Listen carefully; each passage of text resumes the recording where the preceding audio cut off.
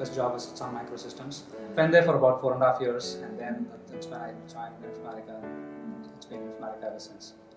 Um, close to eight and a half years now. The first time um, when, when we heard about this program, it said, you know, it's for uh, senior managers and above.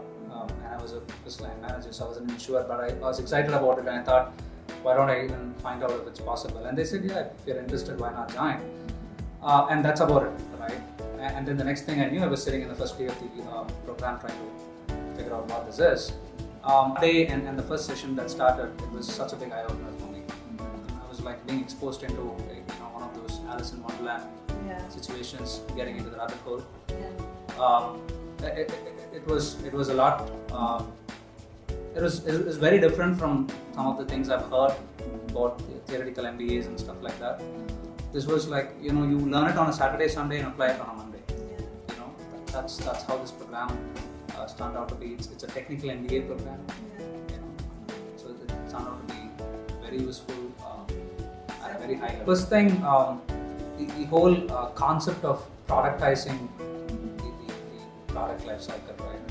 The fact that you can actually put a process around uh, anything was, was, was a very key takeaway. The second thing I, I liked it uh, liked about this program is, is also the whole soft skills.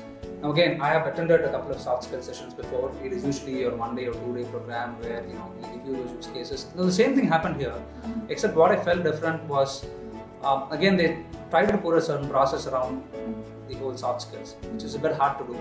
Soft skills is not something that you sit in a classroom and teach, but there are a few things that I've learned uh, that I think will stay on with me forever. And, and the last, which is uh, most of the techies will shy away from this, is uh, trying to understand a, a financial report.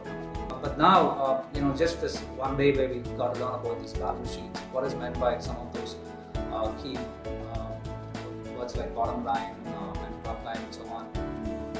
Actually, not just me, a couple of us are regularly now listening to the quarterly all all hands of the company.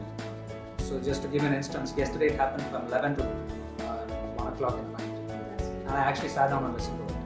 So, so that that is actually a big uh, takeaway for me. Faculty were very interesting, right? Um, uh, these are people who are probably like us, who, who's you know been been there, done that, right? And and they have uh, taken on this role to actually um, not just impart you know education in a formal way, but also to share their experiences that they have gone through over a period of time, right? So you you will be able to you know strike a chord when they actually tell you, and then say you, you get those aha moments, you know, like Pinkesh, you know, once a while keep saying this, right? You, you do realize these aha moments happen way too many times, and sometimes you wonder if this is real or not right? So, so that way the faculty, uh, you know, there's a good mix of people from different uh, background, but they all had a common thing to share, and they were able to quickly, uh, you know, connect with the folks in, in, in the organization and, uh, you know, in whatever, like, be it soft skills, be it you know, all those uh, financial stuff, be it uh,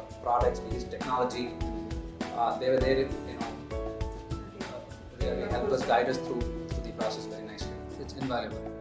That, that's how I would rate it. It is, and uh, in fact, I have been going around telling as many managers as me, saying, just go talk talk to your boss, see if, if we can have this program once again. So I, I absolutely think it's invaluable.